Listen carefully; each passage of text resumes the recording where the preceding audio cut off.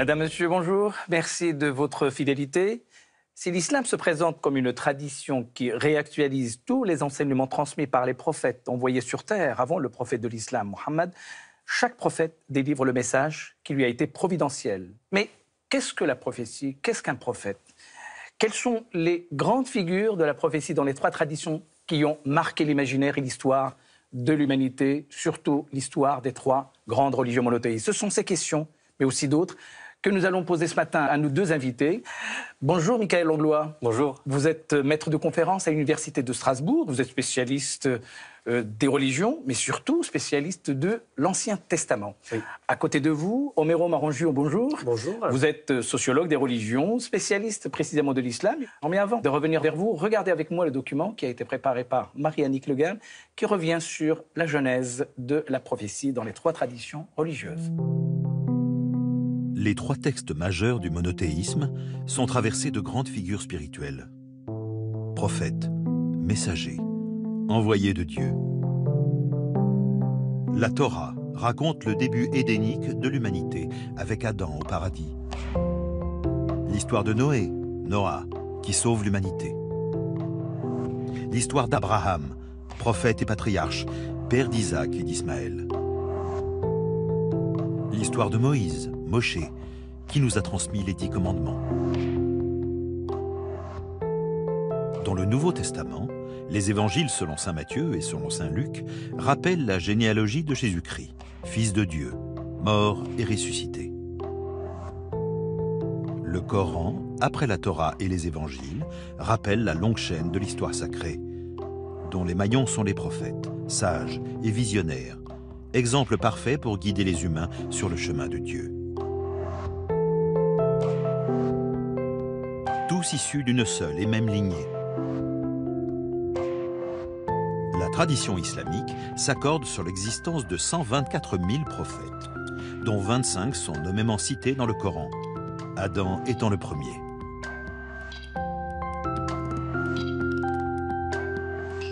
Noé, avec quelques variantes par rapport au récit biblique, est celui sans qui il n'y aurait plus de vie sur Terre.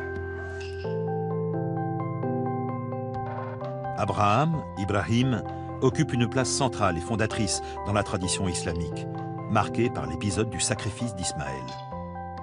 Moïse, Moussa, voisine avec Oud, prophète spécifiquement arabe. Joseph, Youssef, donne son nom à un chapitre du Coran qui lui est dédié, tout comme Jonas, Yunus en arabe. Les prophètes de la tradition chrétienne sont eux aussi longuement évoqués dans le Coran. Jésus, Issa, le Messie, fils de Marie, appartenant à la famille de Imran, tout comme Jean-Baptiste, Yahya pour les musulmans. Jésus annonce un prophète à venir après lui, qui aura pour nom Ahmad. Dans la perspective coranique, Ahmad n'est autre que le prophète Mohammed, le sceau de la prophétie. Document signé Marie-Annick Legern. Michael euh, avant l'avènement du monothéisme, les hommes avaient à l'époque euh, adoré des divinités multiples. Pouvez-vous nous rappeler d'abord ce qu'est le monothéisme et sa genèse? Oui, alors le monothéisme, par définition, c'est le fait de ne croire en un seul Dieu, de croire qu'il n'y a qu'un seul Dieu. Et c'est vrai que euh, le monothéisme se développe progressivement dans le judaïsme et dans le christianisme, puisqu'on passe d'une situation où il y a plusieurs dieux, ce qu'on appelle le polythéisme, on adore plusieurs divinités, puis à une situation où on reconnaît l'existence d'autres divinités, mais on se focalise sur une seule divinité qui est la sienne, on appelle ça la monolatrie, et puis progressivement on va finir par, euh, disons, rassembler toutes ces divinités en une seule, en disant finalement il n'y a qu'un seul Dieu, quitte à ce que ce Dieu soit pluriel. Euh, en hébreu, on utilise le terme Elohim, qui est du pluriel, qui veut dire les dieux, mais qui n'est qu'un seul Dieu en réalité. Et c'est ce qu'on retrouve également dans le christianisme, avec cette notion de la Trinité, plusieurs dieux en un seul. Et c'est comme ça que le monothéisme va se développer. Omer euh, en islam, euh, il y a le principe de la divinité qui doit être incarné par un Dieu unique et par un prophète. Alors, quelle est justement la vision de l'islam sur la question de la prophétie et le début du monothéisme? Oui, ça me permet de rebondir aussi sur le, petit documentaire que nous avons vu, euh, car il y a des textes donc en l'occurrence, nous avons les textes de, la Bible, nous avons le texte coranique. pour le texte coranique, il n'y a pas une généalogie qui est clairement définie dans le sens où on aurait tout un ensemble de prophètes qui seraient euh, mentionnés comme étant successivement euh, les uns venus à la suite des autres. Et il y a la reconstruction de ce que je qualifierais ici par pragmatisme d'une tradition. Euh, donc une tradition prophétique. Donc on fait démarrer cette tradition prophétique dans l'exégèse musulmane à partir d'Adam, qui est le père de l'humanité, et la généalogie prophétique va jusqu'à Mohammed. Et dans la perspective musulmane, il y a ici une période de monothéisme primordial qui a été euh, euh, euh, mise à mal ou qui a été par la suite remplacée par une forme de polythéisme. Et ensuite, il y a un retour à ce monothéisme originel. Donc en fait, l'idée ici est sans cesse de revenir à un monothéisme primordial. Or, comme on le voit dans une perspective historique, il y a plutôt euh, ce qui a été mis en, évidence par euh, euh, les historiens des religions est plutôt l'idée qu'il y a eu un polythéisme primordial, puis il y a eu progressivement un monothéisme. Alors comment résoudre un peu cette, cette double perspective? Je pense qu'il y a le domaine de la foi qui doit être isolé en tant que tel, avec l'idée selon laquelle l'humanité vient d'un principe unique que l'on va qualifier d'Adam, Hein, donc euh, ce père de l'humanité. Euh, euh, et il y a une perspective historique qui nous permet de retracer la façon dont les hommes s'approprient la divinité et comment ils construisent cette idée du Dieu qui est unique. Est-ce que toutes les traditions sont unanimes sur le premier des prophètes qui est la figure d'Adam, Michael Langlois bah, Justement, c'est très intéressant parce que dans la, dans la Bible hébraïque elle-même, Adam n'est pas qualifié de prophète. Il n'est pas considéré du tout comme un, comme un prophète. Alors on va voir se développer euh, des traditions dans le judaïsme et dans le christianisme qui vont justement s'intéresser à ce personnage et qui vont lui prêter d'autres attributs, qui vont en faire véritablement euh, un prophète. Mais, euh, mais c'est intéressant de voir que ces, traditions sont les, qui vont se développer dans le judaïsme et dans le christianisme sont également celles qu'on trouve justement dans le Coran et, et dans l'islam. Et en islam, alors, le Adam est reconnu comme un prophète, un, fondateur. Alors, on va poser un principe euh, selon lequel euh, toutes ces questions sont l'objet de, débats et de divergences. Soit on va faire démarrer la prophétie à Adam lui-même, D'autres théologiens vont faire démarrer la prophétie alors euh, à la progéniture d'Adam, ou alors à Idris, ou Enoch plutôt, ou alors à d'autres personnages ultérieurs. On va faire simple, on va partir du principe que Adam, ici, dans la tradition musulmane, est à la fois la figure de l'archétype de l'humanité euh, et également le père de euh, la prophétie, hein, donc euh, le premier des prophètes. Après, faut-il encore définir ce que l'on entend par prophète dans une perspective musulmane? Allons-y puisqu'il y a deux types de personnages qui sont dans la euh, tradition Musulmane Alors, la figure du prophète, euh, il y a une double figure de, du prophète dans, euh, dans, dans, dans, le texte coranique. Il y a celui que l'on mentionne en arabe comme étant le nabi et celui qui est qualifié de rasoul. Alors, le nabi, c'est celui qui vient comme à la fois exhortateur et qui a pour fonction de rappeler les enseignements divins mais qui n'est pas venu forcément avec une nouvelle orientation ou avec un texte support de sa, euh, de sa prédication. Euh, le terme nabi vient euh, de, de, l'arabe tout simplement, celui qui, qui, qui, informe ou qui avertit. Le rasoul, dans la perspective coranique, est celui qui vient avec une nouvelle orientation, avec un texte support. Donc il a la risala, c'est-à-dire le message, mais ici le message dans le sens de guider la communauté, donc c'est-à-dire de prendre une place euh, euh, euh, très particulière au sein de sa communauté de prédication. Et qu'est-ce qu'il en est dans la tradition judéo-chrétienne? Alors c'est intéressant parce que le, terme nabi qu'on trouve dans le Coran, en fait, on le trouve déjà dans la Bible hébraïque, le, même terme qui se prononce navi en, hébreu moderne, mais c'est vraiment, euh, il s'agit vraiment du même terme avec ce, même sens. Et donc, euh, on a tout un tas de, personnages bibliques euh, comme Moïse ou, d'autres qui sont qualifiés par, par ce terme et qui sont vraiment des, porte-paroles, sont ceux qui viennent transmettre un message divin. Et c'est ça la notion même du, du mot prophète tel qu'on l'a reçu en français dans le Nouveau Testament en grec. On a le même terme qu'en français prophète, c'est-à-dire celui qui est le porte-parole. C'est également le cas du personnage d'Enoch que vous évoquiez tout à l'heure, puisque là encore, on a le même phénomène dans la Bible hébraïque elle-même. On n'a que quelques versets qui mentionnent Enoch, on sait presque rien de lui.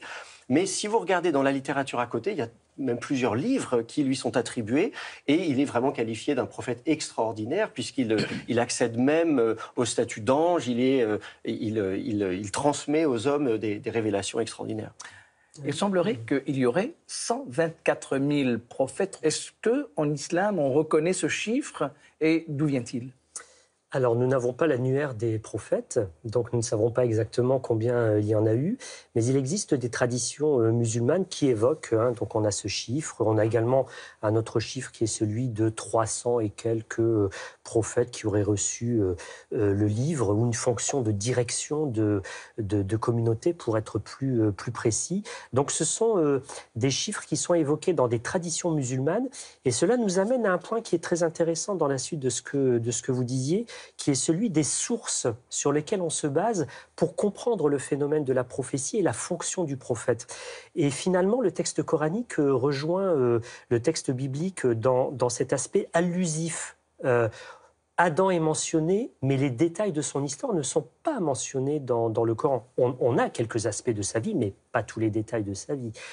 concernant Enoch, c'est la même chose. Ce sont quelques lignes dans le Coran, par contre, nous avons deux autres sources, celle de la tradition musulmane, dont une bonne partie est également apocryphe, hein, donc tout un ensemble de traditions qui vous font des descriptions de ces personnages ou euh, des questions relatives à, l'au-delà, mais également l'histoire orale, l'histoire orale de l'Arabie qui était en partie empreinte justement des récits de langue syriaque, de langue hébraïque et également des communautés juives de langue arabe. Et ça, c'est très intéressant à approfondir. Alors, la Torah, qui est donc euh, le texte, euh, je dirais, euh, fondateur du judaïsme, et puis l'Ancien et le Nouveau Testament, que disent les deux traditions concernant les prophètes Il y a vraiment une continuité. la Bible hébraïque a été adoptée dans son ensemble par les chrétiens. L'ensemble des chrétiens reconnaissent l'ensemble, l'ensemble des livres de la Bible hébraïque. Ils en ont ajouté d'autres, soit qui sont issus de la littérature juive, soit qui sont issus de la littérature chrétienne. On appelle ça le Nouveau Testament. Et dans les deux cas, on va retrouver ce développement sur ces personnages prophétiques et on, va en trouver des nouveaux euh, dans, le Nouveau Testament. On va trouver d'autres personnages qui sont, qualifiés de prophètes, à commencer par Jésus, par exemple. Quelle est la personnalité de Jésus vue par les, euh, les je dirais par la tradition judéo-chrétienne. Oui, alors c'est intéressant puisqu'en termes de prophétie, Jésus lui-même ne se présente pas comme étant un prophète et, et, il y a finalement assez peu de versets qui le présentent comme étant un prophète. Il y a le cantique de Marie quand elle est, enceinte, elle dit voilà, euh, euh, il y a cette prophétie et elle sait d'une certaine manière que son enfant sera un prophète du Très-Haut. Et on entend euh, ici ou là dans d'autres textes de l'Évangile la foule qui dit mais c'est un grand prophète, c'est un prophète puissant. Mais en fait, Jésus se présente pas spécialement comme un prophète. Et on va se rendre compte que cette désignation de Jésus va disparaître euh, du christianisme euh, pour euh, laisser la place à une autre désignation, celui de Messie. Pourquoi? Quelle est la raison justement de cette transfiguration de la personnalité de Jésus qui devient le Messie? Je pense que d'une certaine manière, le fait de le présenter comme un prophète, c'est-à-dire comme un porte-parole euh, de Dieu, euh, souligne peut-être le fait qu'il n'est peut-être pas Dieu lui-même. Or, dans le christianisme, on va développer une théologie qui fait de Jésus euh, Dieu lui-même, qui s'est incarné, qui est venu sur terre. À partir du moment où il est Dieu lui-même, il n'a pas besoin d'être son propre porte-parole, pourrait-on dire. Donc c'est finalement, c'est finalement mieux de le, le présenter comme un Messie ou comme le Fils de Dieu plutôt que comme un prophète. Omer Manjou, quelles sont les grandes figures prophétiques qui sont recensées, reconnues euh, euh, par la tradition musulmane et par le Coran? Euh, Jésus, évidemment. Oui, on, peut évoquer de manière très simple et rapide, outre Adam, bien entendu Abraham, mais la figure centrale, en, tout cas, la figure qui revient le plus souvent dans, dans le Coran, c'est celle de Moïse dont l'histoire et certains événements sont réitérés, mais sous des angles un peu différents. Donc nous avons Adam, nous avons Abraham, nous avons Moïse, nous avons Jésus, euh, euh, nous avons également la figure de Joseph, euh, Youssouf en langue arabe, puis nous avons également Mohammed, mais paradoxalement, le prophète de l'islam qui traverse le texte coranique puisqu'il est le protagoniste de la révélation, euh, euh, de, la transmission de, cette révélation euh, coranique, il est moins cité nommément que ses autres prophètes et surtout Moïse. Dans toutes les traditions religieuses et aussi dans la tradition judéo-chrétienne, quel est le rôle qui a été assignée aux prophètes? Quelle est leur mission? Alors en fait, il y a plusieurs types de prophètes. Si on regarde la, Bible, la Bible hébraïque ou le Nouveau Testament, on va se rendre compte qu'il y a d'une part des personnages qui ont un contact très étroit avec, avec le divin, avec Dieu. Le personnage de Moïse, notamment, que vous évoquiez, c'est euh, de toute évidence un prophète central. D'autres prophètes très connus, comme Élie, par exemple, qui, qui vont vraiment recevoir des révélations divines, pratiquement la visite de Dieu lui-même ou d'un ange, et puis on va voir se développer d'autres formes de prophéties, comme des écoles de prophètes. Euh, dans la Bible hébraïque, on a toute une période où il y a des, ce qu'on appelle les fils des prophètes, qui sont une sorte d'école, de, formation pour devenir prophète. Et puis dans le Nouveau Testament, ce qui est très intéressant, c'est qu'on voit se développer la prophétie dans les communautés chrétiennes. Euh, dans les épîtres de, Paul, par exemple, on évoque la question de la prophétie, y compris dans les rassemblements. Euh, on voit même que parfois, ça bousculait un petit peu l'ordre, et donc Paul est amené à dire, lorsqu'une femme prie ou prophétise, il faut qu'elle respecte ceci, qu'elle garde la tête voilée, etc., etc. On sentait qu'il y avait un petit peu des difficultés pour gérer cette abondance de, prophéties dans, les premières communautés chrétiennes. La croyance euh, dans les prophètes qui ont précédé le prophète de l'islam est un pilier, un des six piliers de la foi, justement.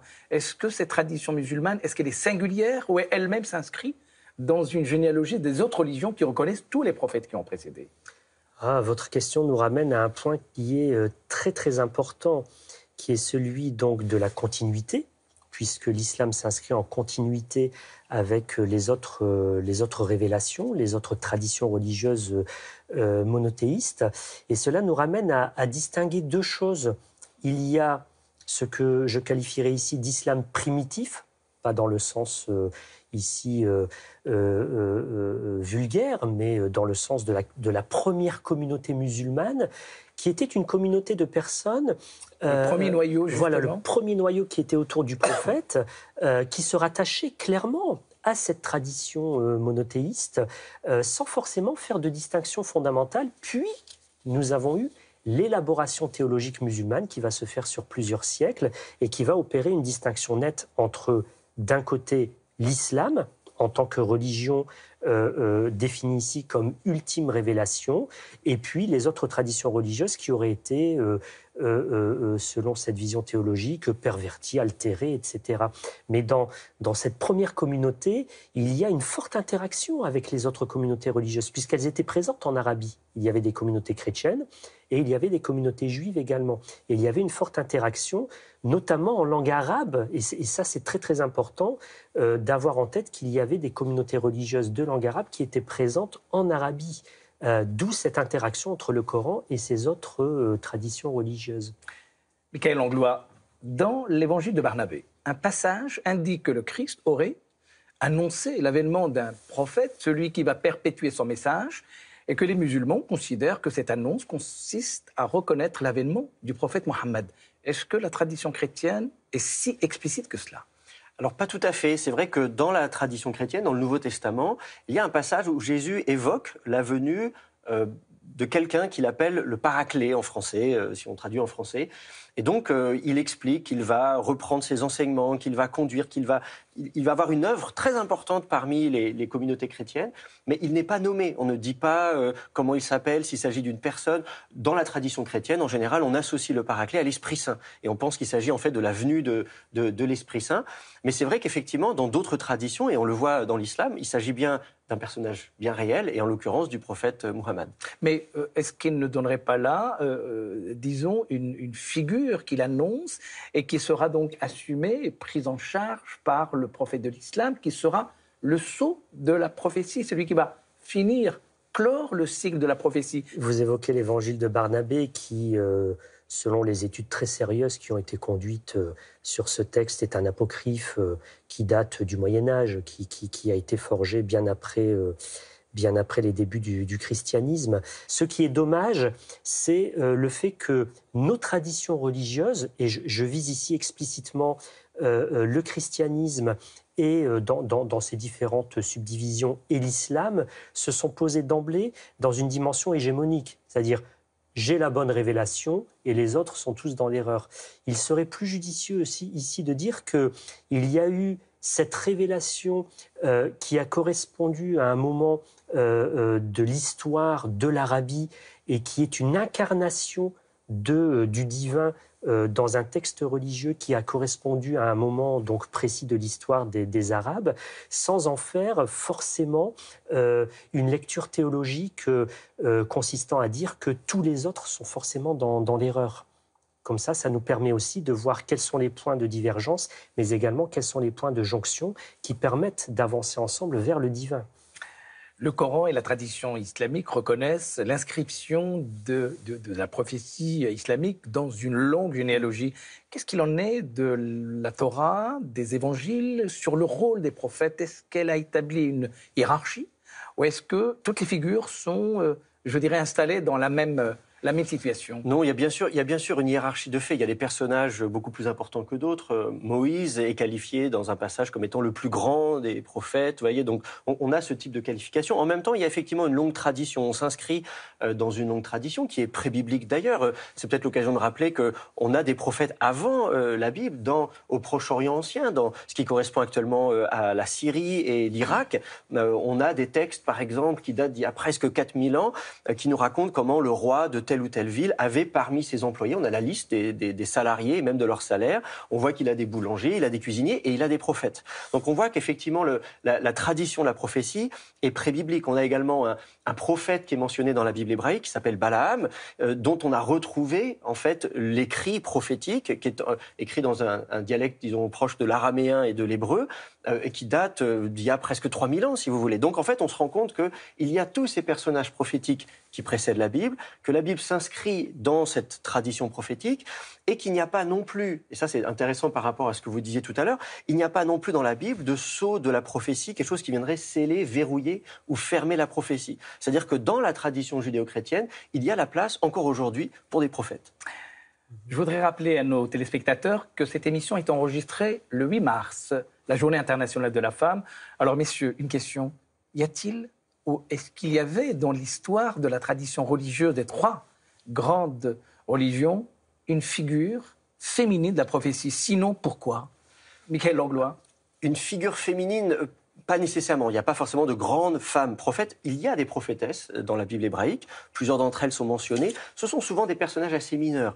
D'autres personnages féminins sont plus connus, ne sont pas nécessairement qualifiés de prophètes, mais ont une activité prophétique malgré tout. Par exemple, Déborah est un personnage majeur euh, de, la Bible hébraïque. Dans le Nouveau Testament, on peut considérer que Marie a aussi une, activité prophétique d'une certaine manière, même si elle ne reçoit pas forcément le qualificatif de prophétesse. Omer Manjou, est-ce que l'islam s'inscrit aussi dans cette tradition de considérer que le féminin n'a pas la figure euh, euh, prophétique. Alors ce n'est pas parce que nous n'en avons pas trace qu'il n'y en a pas eu. Euh, l'histoire généralement est, écrite par les vainqueurs et en l'occurrence ici cette histoire qui nous est contée a été euh, écrite souvent de la main d'homme, ou quasi uniquement, ou uniquement de, la main d'homme. Donc, euh, est-ce qu'ils ont euh, évacué cette dimension féminine de la prophétie?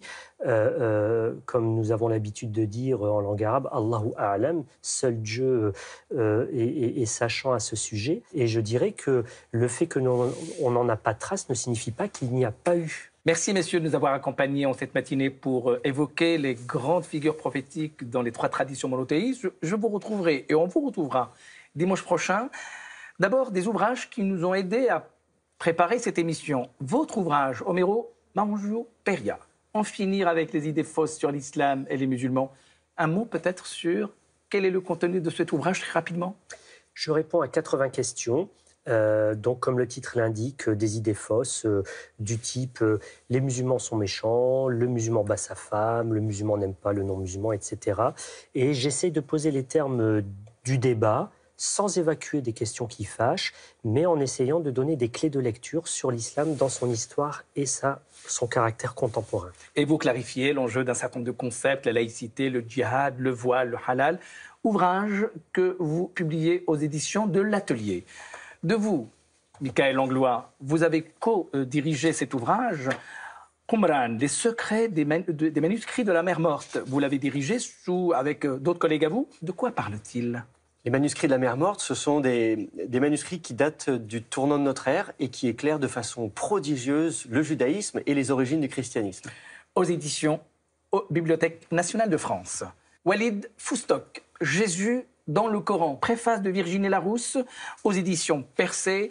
Esther Benbassa et Jean-Christophe Attias, juifs et musulmans retissant les liens, aux éditions du CNRS, sous la direction de Fawzi Azouari. 12 musulmans parlent de Jésus, aux éditions des Clés de Brouwer. Dictionnaire des monothéismes, sous la direction de Cyril Michon et Denis Moreau, Judaïsme, Christianisme et Islam, aux éditions du Seuil. Vous avez à présent rendez-vous avec votre rubrique hebdomadaire Raconte-moi l'islam. Aujourd'hui, ça sera autour du sunnisme. Quant à moi, je vous souhaite une très très belle journée de dimanche, excellente semaine. Au revoir.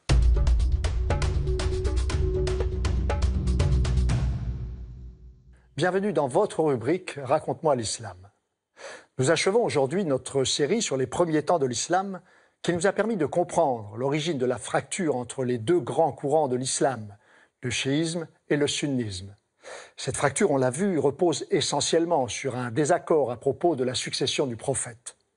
Pour les chiites, seul un descendant direct du prophète Mohammed est légitime pour lui succéder, car lui seul a hérité de la lumière et de l'inspiration prophétique pour vivifier et interpréter la révélation. Qu'en est-il alors des sunnites, qui représentent plus de 80% des musulmans actuellement? Les sunnites sont les héritiers de la tradition des ancêtres musulmans qui, après l'assassinat d'Ali en 661, ont préféré ne pas poursuivre les divisions sanglantes de la grande discorde et sont devenus Ahl al-Sunnah wal Jama'a, les gens de la tradition prophétique et de l'union. D'où vient d'ailleurs le mot sunnite? Pour le sunnisme, contrairement au chiisme, la question de la nomination du calife n'est plus religieuse, elle doit être laissée entre les mains de Dieu, seule habilité à juger pour récompenser le bon calife et punir le mauvais.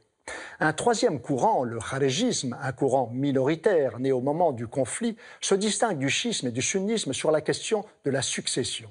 Ce courant comprend plusieurs branches. La branche principale, les Ibadites à Oman, et dans quelques régions d'Algérie, de Tunisie et de Libye, réfute le terme de kharégisme et se considère comme les vrais héritiers de la tradition prophétique. Pour les Ibadites, n'importe quel musulman peut prétendre à la charge du calife pourvu qu'il soit vertueux. La communauté des croyants a en revanche le devoir de démettre celui qui n'exerce pas dignement la charge. Donc les premiers sunnites sont ceux qui se sont écartés des combats fratricides et qui ont accepté le califat de Moawiya quand celui-ci mourut en 680 après avoir fondé la dynastie des Omeyyades. C'est donc son fils Yazid Ier qui prit la succession de 680 à 683, puis une autre branche des Banu Umayya avec Marwan Ier prit le pouvoir. Pourtant, la dynastie omeyyade n'en avait pas encore fini avec les contestations de son règne. Il y eut une seconde discorde ou fitna au sein de la communauté musulmane. En 683, Abdullah ibn Zubayr, un descendant du premier calife Abu Bakr, se déclara lui-même calife à la Mecque. Il régna de 683 à 692. Après une guerre qui aboutit à sa mort, le calife Omeyyad Abdel Malik, libéré des oppositions internes les plus dangereuses, a pu poursuivre ses conquêtes vers l'Afrique du Nord. C'est son fils, Al-Walid Ier, qui régnera à son tour et construira la fameuse mosquée des Omeyyades de Damas, symbole de la dynastie. Les sunnites reconnaissent en définitive le bien que les quatre premiers califes, dits les bien guidés, ont apporté, chacun à leur manière, et leur contribution afin de sauvegarder et consolider les bases de la nouvelle religion. Vous trouverez votre rubrique sur le site de France Télévisions et les réseaux sociaux. Salam, au revoir. Allahumma wa sallim wa.